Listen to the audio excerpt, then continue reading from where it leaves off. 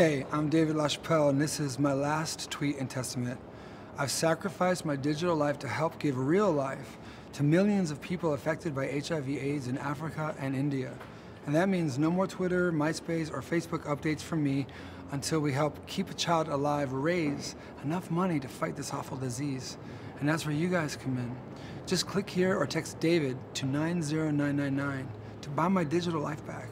You know you're gonna miss me, so go on and buy my life back now. Thank you.